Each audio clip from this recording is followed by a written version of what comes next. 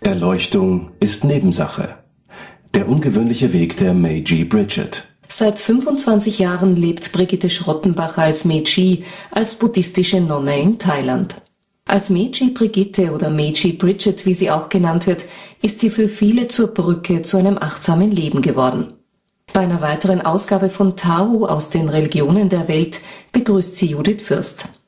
Nach den christlichen Ordensleuten im Porträt an den vergangenen beiden Samstagen in Logos heute nun also eine buddhistische Nonne.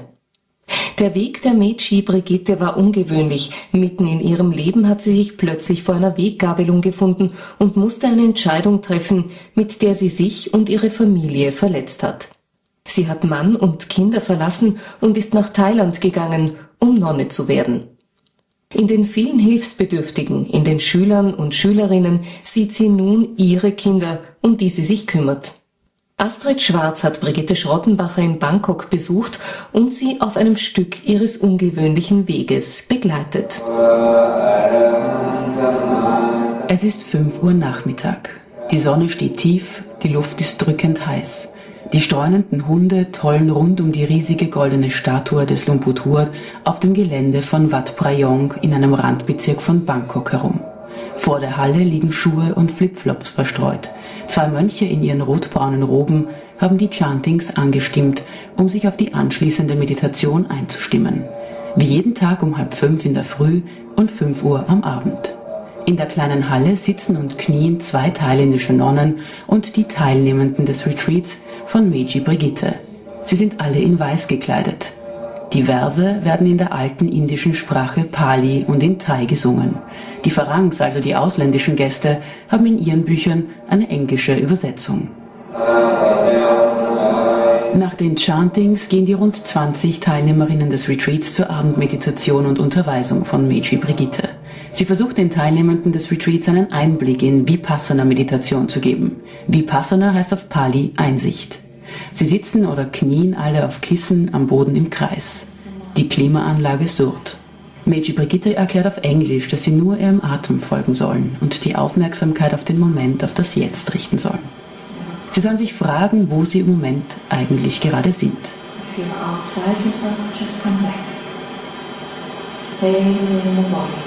Wenn die Gedanken immer wieder abschweifen, gilt es, das wahrzunehmen und die Konzentration wieder auf den Atem zu lenken. Nach ungefähr einer Stunde ist die Meditation beendet und die Teilnehmenden kehren, wenn möglich, in Stille zu ihren Schlafstellen zurück, denn der nächste Tag beginnt früh. Einer von ihnen ist Martin aus der Schweiz. Wir sind am Morgen um 4 Uhr aufgestanden. Um halb fünf hat das Morgensingen mit den Mönchen begonnen für eine Stunde. Dann haben wir um 6 Uhr Frühstück gegessen, haben dann äh, die Tempelanlage gereinigt, was halt so dazugehört, mit WC, Putzen, mit Straßen reinigen und all diese Sachen, die auch gemacht werden müssen. Haben dann Gehmeditation gemacht, Sitzmeditation gemacht, gegessen und am Nachmittag wieder äh, Singen mit den Mönchen, Gehmeditation, Abendmeditation. Und um 21 Uhr war dann Feierabend. Das hat sich wiederholt. Martin war mit seiner Familie zwei Monate in Thailand unterwegs und entschied mit seiner Frau, dass es eine Herausforderung für ihn sein würde, ein solches Retreat bei Meiji Brigitte zu machen. Sieben Tage Rückzug und Regeln befolgen. Es sind die acht Regeln, die Nonnen befolgen müssen. Nur die Haare müssen sie sich nicht rasieren. Meiji Brigitte zählt die Regeln auf nicht zu töten, nichts zu stehlen. Du hast Keuschheitsgelübde, keine Sprache zu führen, die zu Leiden führt oder Probleme führt für dich oder andere. Und keinen Alkohol, keine Drogen, keine Mahlzeit nach 12 Uhr mittags. Also wir essen nur von äh, Sonnenaufgang bis 12 Uhr. Und kein Schmuck, keine Kosmetik und so äh, Entertainments. Und äh, die achte ist halt kein weiches, hohes Bett. Also man hat nicht große, dicke Matratzen, sondern eben sehr dünne. An diese Regeln mussten sich alle halten. Vorkenntnisse in Meditation oder anderen Feldern waren nicht nötig. Martin wagte den Sprung ins Blaue. Ich habe keine Erfahrung mit Meditieren gehabt. Ich war also einer der äh, doch mehreren absoluten Beginnern Und die Anlage hier ist einfach mythisch. Also wenn man schon am Morgen um 4 Uhr aufsteht und äh, der leichte Nebel über der Anlage liegt und dann diese buddhistischen Gesänge hört, das hat schon so sehr was Spirituelles in sich. Ja. Die Leute kommen hier hin sieben Tage und meist haben die schon ziemlich Leiden. Also die sind entweder gestresst, burned out oder sonst was und wollen dann hier auftanken. Und wenn du die dann da voll reinsteckst und du musst jetzt zehn Stunden meditieren, dann kriegen sie ja noch mehr Stress. Also ich glaube eher, die meisten, ich gönn's denen, wenn die ein bisschen runterkommen, ein bisschen easy machen, einfach machen. Und dann kommt's eh nach. Meist so nach drei Tagen, dann wollen die auch. Und dann ist es auch leichter, Konzentration zu erlangen, als wenn du die da jetzt so forcierst. Ne? Die ersten zwei Tage waren ziemlich krasser Entzug und dann hat man sich sehr stark daran gewöhnt und ab dem dritten Tag war es eigentlich schon fast Daily Business, ganz normal. Und ähm, jetzt ist man schon fast ein wenig besorgt, um zurückzugehen ins, ins äh, tägliche Leben wieder. Bevor die Teilnehmenden von den acht Regeln entbunden werden und in ihr normales Leben zurückkehren, bekommen sie noch einen Segen von dem amerikanischen Mönch Prasit und von Meiji Brigitte die Aufforderung, ein wenig zu lächeln, denn das Leben sei ernst genug. Yes,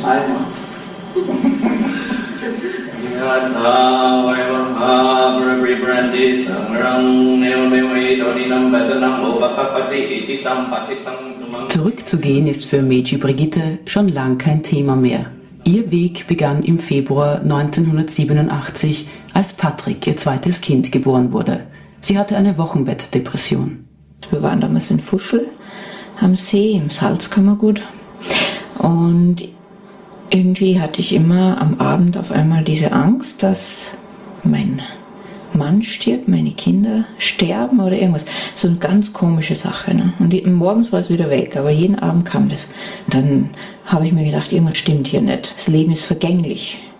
Also es ist hundertprozentig, ich musste sterben. Und warum das Ganze? Warum bist du eigentlich da? Und dann hatte ich eine Freundin, Andrea, und die hat dann gesagt, komm doch mal mit zum Yoga. Dann bin ich zum Yoga mit ihr. Und gleich bei der ersten Yoga-Übung, also es war so eine Stunde, dann hat man so Relaxing Posture, ne?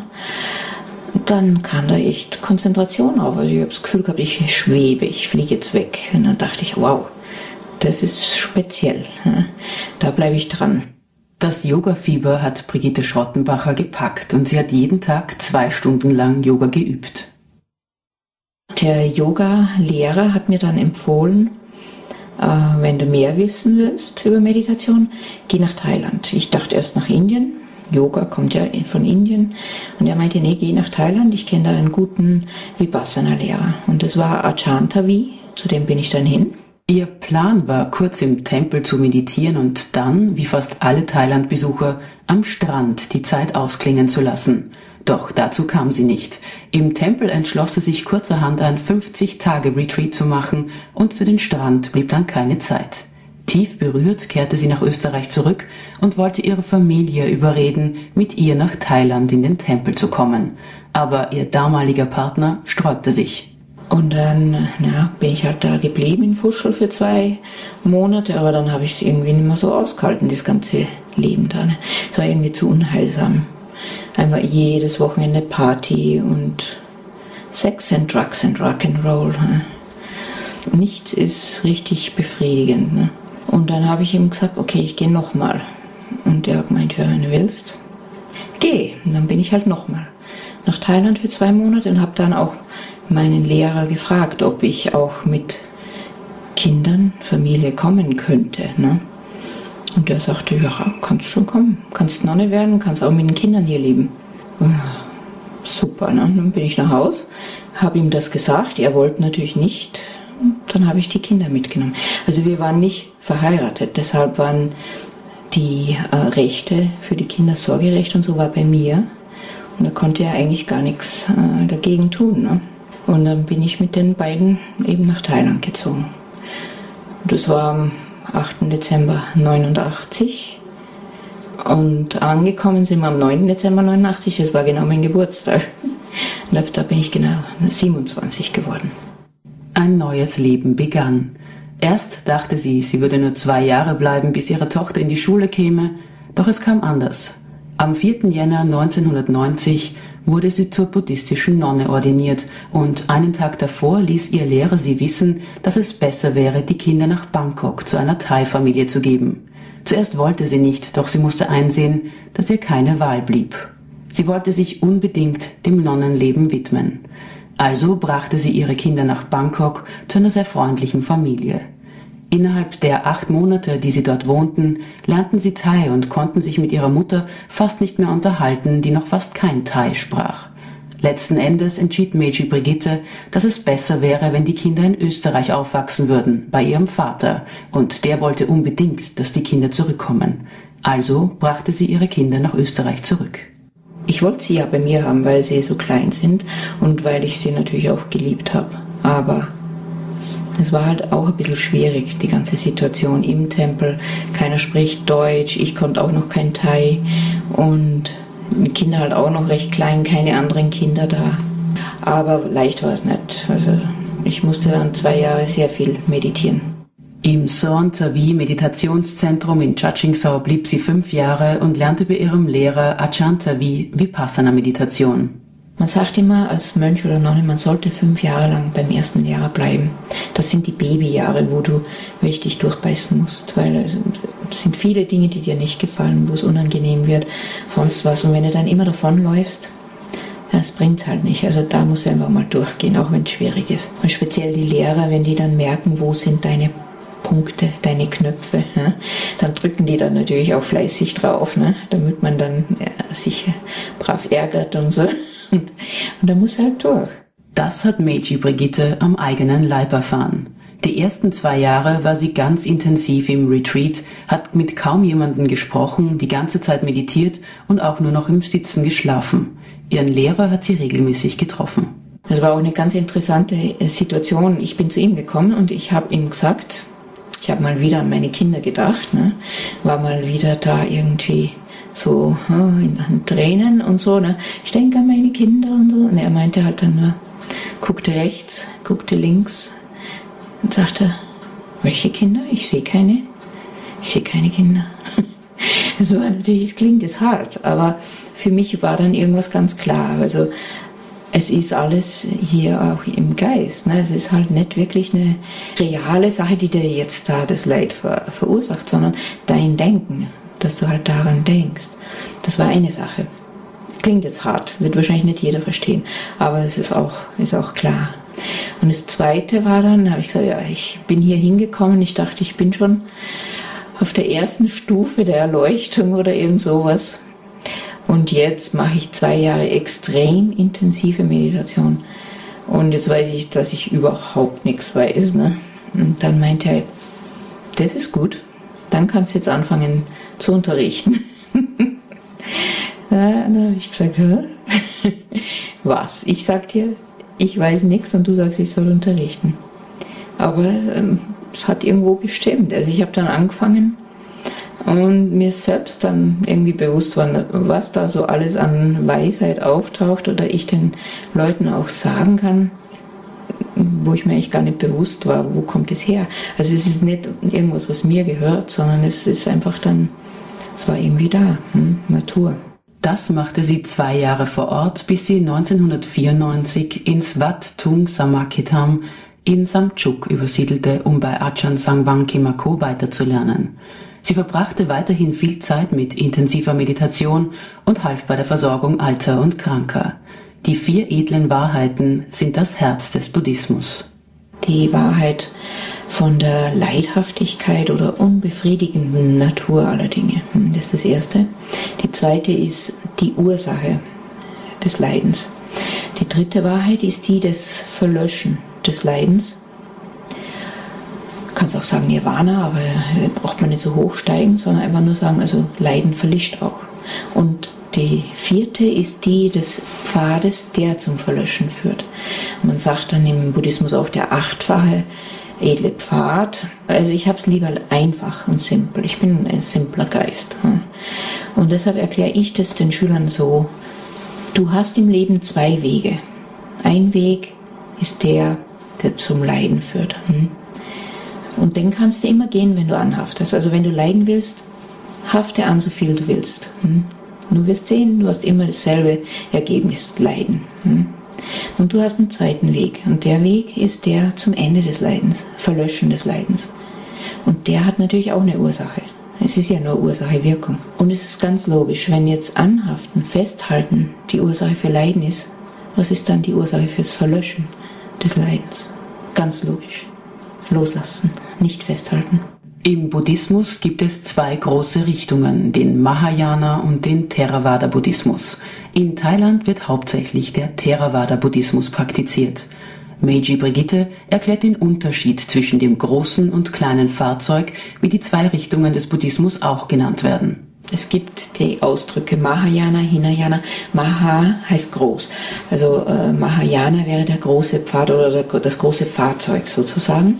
Das sind all äh, die buddhistischen Linien, die eher auf das Bodhisattva-Tum hingehen. Also die wollen ein Bodhisattva sein, ein Wesen, das in Zukunft mal ein Buddha werden will. Und für äh, einen Bodhisattva ist das Ziel, so vielen Wesen wie möglich zu helfen, auch die Erleuchtung zu erreichen das sogenannte Hinayana oder der Theravada-Buddhismus ist das sogenannte kleine Fahrzeug. Für uns ist es dann eher wichtig, sich selbst zu befreien. Also dass du dir, dich selbst erstmal aus dem Leiden rausholst, dass du selbst erstmal Befreiung erlangst und das dann natürlich auch teilst und anderen hilfst. Aber das Ziel ist eher zur Befreiung und wenn es geht in dem Leben. Hm. Wohingegen Bodhisattva muss halt sehr viele leben, halt immer wieder Gutes, Heilsames tun, anderen helfen, um irgendwann dann halt auch die Buddhaschaft zu erreichen. Hm. Da ist, da ist der Hauptunterschied. Am Anfang geht es um die oft zitierte Erleuchtung. Etwas, von dem man sagt, dass zwei ihrer Lehrer es erreicht hätten. Für Meiji Brigitte ist es nicht das vorrangige Ziel. Ich glaube, am Anfang steht viel, viel über die Erleuchtung. dann, dann stellt man sich vor, okay, ja, das ist genau das, was ich will und da will ich hinkommen. Aber mit der Zeit kann natürlich nur über mich jetzt reden. Erleuchtung ist nicht irgendwas, was mir jetzt wichtig ist. Ne? Aber ich glaube auch, dass Erleuchtung was ist, was jeden Moment passiert. Ne? Wenn du wirklich loslassen kannst, wenn du wirklich sein kannst, einfach nur sein und okay mit dem, was ist. Hm? Wenn der gegenwärtige Moment akzeptiert und angenommen wird, wie er ist. Das ist jedes Mal eine kleine Erleuchtung. Und die muss man halt immer wieder erleben, bis man es wahrscheinlich irgendwann verstanden hat, dass es gar nicht mehr ist als das. Das ist es. Das reicht. Nur du kannst es nicht festhalten. Hm? Manchmal hast du diese Erfahrung und es passt einfach. Hm? Aber dann verliert sich es natürlich wieder, weil halt das Leben so ist. Es ist immer auf und ab und hin und her. Es ist vergänglich, verändert sich. Diese Einsichten bringt sie auch ihren Schülern näher. 2001 begann sie auch im Ausland zu unterrichten. Von 2007 bis 2009 hatte sie ihr eigenes Meditationszentrum in Bangkok. Eine Frau überließ ihr ein Haus, das sie gerade nicht brauchte. In diesem Jahr wurde sie auch am internationalen UN-Weltfrauentag am 8. März mit der Auszeichnung Outstanding Woman in Buddhism 2009 geehrt. Auf einer Fahrt zu einem bekannten Mönch, den sie besuchen wollte, kam sie zufällig bei Wat Prayong in Nongchok vorbei, da wo sie heute auch lebt und unterrichtet, und traf zum ersten Mal auf Ajahn Pet. Und er sagte dann zu mir, ah, jetzt bist du endlich da. Ich habe ja schon lange auf dich gewartet. Und dann hat er den Schülern, die so neben ihm saßen, so ein paar Männer, sagte, habe ich euch doch gesagt, es kommt eine westliche Nonne und die bringt hier tausende Schüler hin. Westler. Und die haben gesagt, ja, ja, das hat er gesagt, aber wir haben es nicht geglaubt. Ne? Wo soll hier eine westliche Nonne herkommen? Und dann, und dann hat er gesagt, so, du kommst jetzt und ich baue da hinten Hütten für dich, also du kannst du dann die Schüler unterbringen. Und ich habe gesagt, nö, nö, nö, nö, ich gehe jetzt nicht mehr im Tempel, ich habe mein eigenes Zentrum in Bangkok. Ne? Und er sagte, das ist nicht deins, du kommst hier hin. Und es hat ungefähr so zwei, drei Monate gedauert. Und dann kam die Frau auch, die Besitzerin von dem Haus, und hat gesagt, sie braucht es wieder. Ne? Ja, und er hat inzwischen ja schon acht Hütten gebaut für mich. So blieb mir nichts anderes über und deshalb bin ich jetzt hier auch schon fünf Jahre wieder.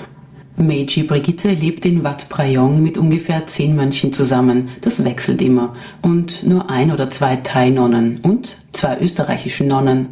Eine davon ist Anfang 20, eine zarte Erscheinung und wird Meiji Bianca genannt. Sie lebt seit zwei Jahren in Wat Prayong. Das war ein Ergebnis von ähm, intensiver Meditation in Burma für drei Monate. Ähm, jeden Tag 18 Stunden Meditation. Und dann ähm, war es halt klar für mich, dass das der Weg ist. Also ich wollte nichts anderes mehr tun als meditieren und es war kein Zweifel mehr da oder keine Frage, was soll ich jetzt machen in meinem Leben, sondern ich wusste einfach, das, das ist der Weg und dann gab es nichts anderes mehr. Ihr Tag besteht hauptsächlich aus Meditation. Sie hatte noch keine Zeit, Thai zu lernen. Wenn Meiji Brigitte Kurse macht, hilft sie. Aber eben der Grund, warum ich ordiniert habe, war, weil ich mein Leben der Meditation widmen möchte und Erleuchtung erlangen möchte. Eben die Befreiung von allem Leiden. Zuerst für mich selbst und dann um anderen zu helfen. Und ja, deshalb muss ich meditieren, will ich. Meiji Bianca wird von ihren Eltern unterstützt. Denn Nonnen werden in Thailand nicht vom Tempel unterstützt. Die Mönche haben da ganz klar einen Vorteil. Die Thais denken auch, wenn ich einem Mönch was gebe, mache ich mehr gutes Karma als einer Nonne ist dadurch verständlich, weil die Mönche 227 Regeln halten sollten, wohingegen wir haben nur acht Regeln. Die 227 sind zwar im, Gro im Großen und Ganzen auch diese acht, was die halt mehr haben, ist es strikter, dass sie gar keine Berührung mit einer Frau haben. Wohingegen bei Nonnen ist es schon mal, du kannst als Nonne einem Mann zum Beispiel was in die Hand geben, so ein Papier oder ein Buch oder was, und da würde nicht jeder gleich aufschreien, aber ein Mönch darf das nicht, der darf keiner Frau was so geben, das müsste er hinlegen. Viele Thai-Nonnen müssen sich durchschlagen. Meiji Brigitte hat einen Sonderstatus, weil sie Farang ist, also aus dem Ausland kommt. Sie darf auch nach Rücksprache mit dem Abt eine braunrote Robe tragen wie die Mönche und keine weiße. Sie findet es praktischer zum Reisen. Wenn sie in Österreich Station macht, sieht sie auch ihre Kinder. Seit 2001 gehe ich auch im Ausland unterrichten, Europa, Amerika, Russland, Neuseeland. Und da kriege ich jetzt Spenden auch von den Schülern, wenn ich unterrichte. Und dadurch habe ich natürlich ein bisschen einen Vorteil den anderen Nonnen gegenüber, und habe dann Sozialprojekte angefangen, dass ich das, was ich dann an Spenden kriege, auch immer mit denen dann teile. Also ich habe da über 100 Nonnen, die ich jeden Monat mit Taschengeld versorge. Dann habe ich auch ganz viele andere Projekte, einen AIDS-Tempel in, in, Thailand, einen Drogenentzugstempel. Also was immer mir bleibt, nachdem ich die Reisekosten abgezogen habe. Und das geht dann halt an die Nonnen. Mindestens fünf Monate im Jahr verlässt sie Thailand, um zu unterrichten. Die Kurse haben keinen fixen Kostenbeitrag. Jeder gibt Dana. Man übt sich in Großzügigkeit und jeder gibt so viel er kann und möchte. Mit diesen Spenden unterstützt sie auch die 49 Nonnen des Klosters, in dem sie selbst sieben Jahre gelebt hat. Alle paar Monate kommt sie vorbei und bringt jeder von ihnen eine kleine Tasche voller Geschenke. Es ist noch dunkel, als wir um 7 Uhr früh einen Minibus besteigen, um von Wat Prayong nach Samchuk in die Provinz Suphanburi zu fahren, in den Tempel, in dem Meiji Brigitte gelebt hat. Auf der Autobahn ziehen Städte und Tempel vorbei. Die Namen der Tempel sind ein wenig schwer zu merken. Wohin wir fahren? Wat Tung Samaketam. Die Übersetzung ist Wat ist der Tempel, Tung ist das Reisfeld und Samakitam heißt, wo man zusammenhält oder zusammenarbeitet. Seit der große Lehrer Achan Sangwan vor 20 Jahren gestorben ist, bekommt der Tempel nur noch wenig Geld durch Spenden. Wenn ein großer Lehrer stirbt und kein neuer nachkommt, verarmt ein Kloster. Das ist das Schicksal vieler Tempel in Thailand. Als wir unser Ziel erreichen, erwarten uns ein paar Nonnen in weißem Gewand vor der Halle des Tempels. Wir ziehen die Schuhe aus und gehen über blank gekehrten Fliesenboden in die große Halle. Und weitergeben und weiter. Wir stellen die Taschen mit den Einkäufen ab und packen jeder Nonne in eine Tasche Zahnpasta, Kühlungspuder für die heißen Tage, Waschmittel und andere Bedarfsartikel des täglichen Lebens. Die Nonnen sitzen in drei Reihen auf dem Boden der großen Halle und warten geduldig. Die Luft steht, die Ventilatoren an der Decke stehen still. Wir rutschen auf Knien zu den Nonnen, verbeugen uns und überreichen jeder Einzelnen eine Tasche. Als Dank singen die Nonnen einen Segen für die Gaben, die sie bekommen haben.